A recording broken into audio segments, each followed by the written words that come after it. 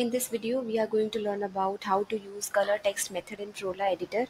So I have opened JSFiddle on my desktop and these are the files for JS and CSS.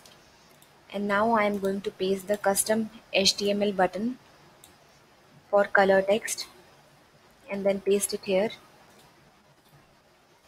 And now I am going to bind on click event on that button and then click on run.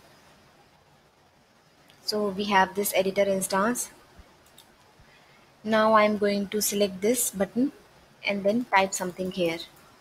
So as you can see the text color is changed and it is blue in color. So you can pick the color of your choice and uh, I will put the link in the description below where you will get to see the coding for different text color. So it is a kind of easiest way to do because you don't have to go more text and then click here in text color. So you can customize the way as you want and you can change the coding for the particular text. And you will be able to see the different color. So this is all about it and thanks a lot for watching